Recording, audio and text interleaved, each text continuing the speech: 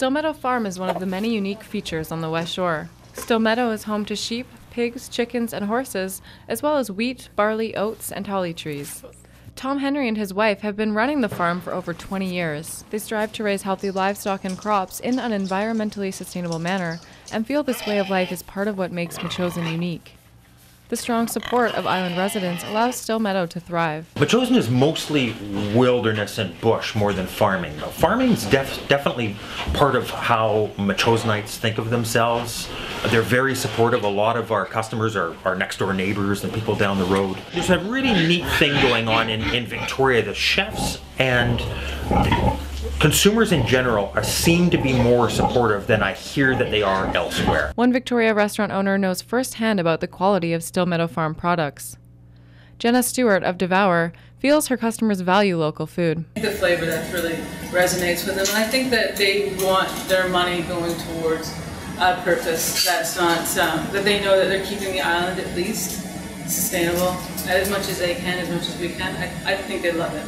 I mean, I do when I go out. Tom agrees that the quality of food is greatly affected by its proximity to the customer and says there are many other benefits to locally produced food. It is probably better for you. You know, I mean, fresh does count in meat products as well as fruit and vegetable products.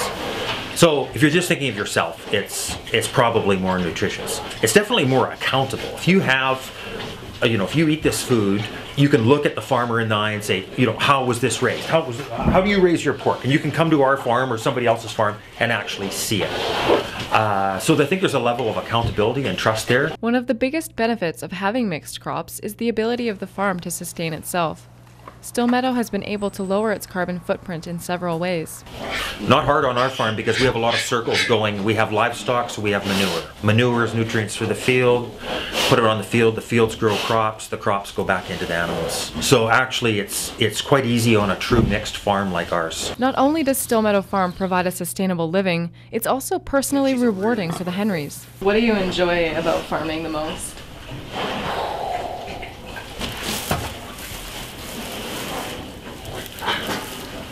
These guys right here. uh, seriously, I mean, they're really cute. I'm gonna put her down before mom gets mad.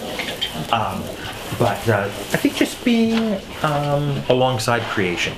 You know, there's so much growth, so many things born and sprouting on the farm. I think just being um, beside the creative process of nature is a great honor. That's what we really like.